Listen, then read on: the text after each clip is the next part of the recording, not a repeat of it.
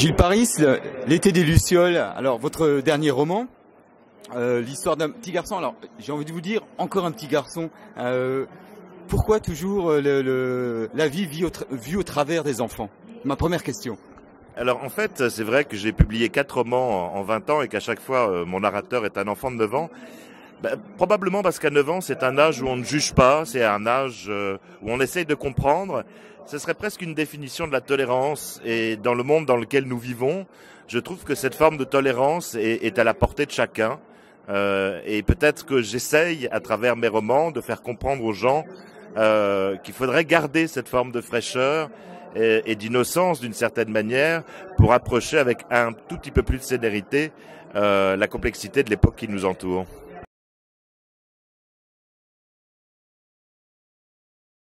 Décalage avec sa sœur qui est entrée dans l'adolescence et qui a vraiment pour le coup des problèmes d'adolescence. Évidemment, les parents qui ont eux aussi une vie bien à part.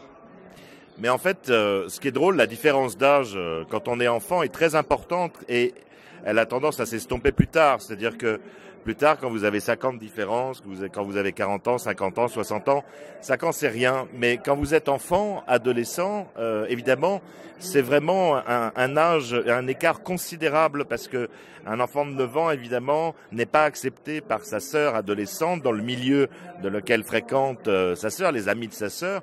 Il y a un vrai décalage important euh, dans les familles entre un enfant adolescent et son frère ou sa sœur de 9 ans, ce qui est le cas de, de Victor. En plus, son père et sa mère se sont séparés, ils n'ont pas divorcé. Euh, le père a quelques soucis, euh, on appelle ça le syndrome de Peter Pan, il a un peu de mal à grandir.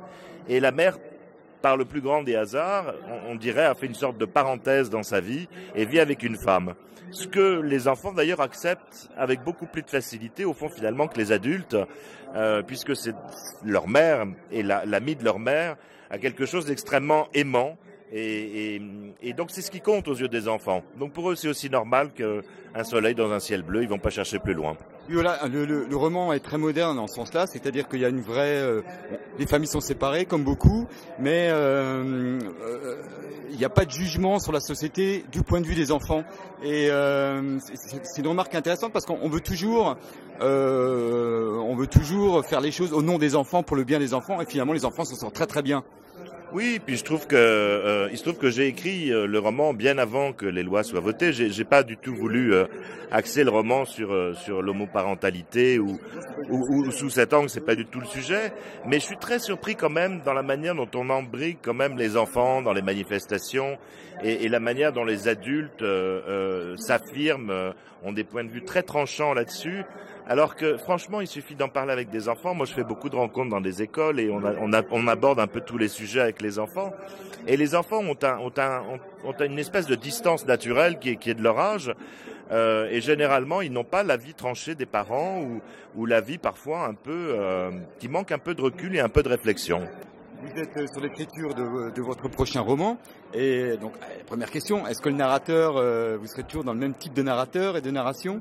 Oui, oui, tout à fait, encore. Ce sera un petit Maxime, cette fois-ci, euh, de 9 ans, qui vit à Paris, euh, avec une, une famille qui se déchire un peu, une famille difficile, un père très coureur, une mère très cato, voilà, une famille un peu un peu brinque-ballé et, l'enfant euh, vit un certain nombre d'expériences et notamment celle de faire chaque semaine euh, la lecture dans une maison de retraite.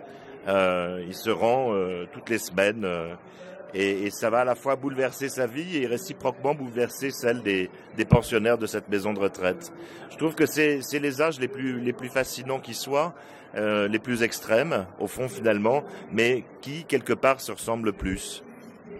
Ah ben on attend ça avec impatience. C'est prévu pour 2015 2016, janvier 2016, oui. Janvier 2016 parce qu'il y aura, euh, il, y a, il y a une bonne nouvelle, il y a un, un, un, film qui est adapté au cinéma de mon deuxième roman qui s'appelle Autobiographie d'une courgette, dont le scénario a été écrit par Céline Sciamma, à qui on doit récemment Bande de filles, euh, Tomboy, et voilà, qui a, fait le, qui a écrit le scénario.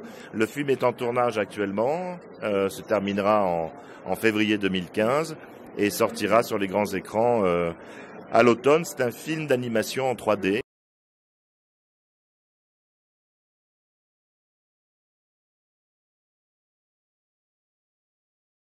J'ai remarqué souvent que les enfants, c'est très intéressant, quand ils n'ont pas de réponse, ils s'en font eux-mêmes.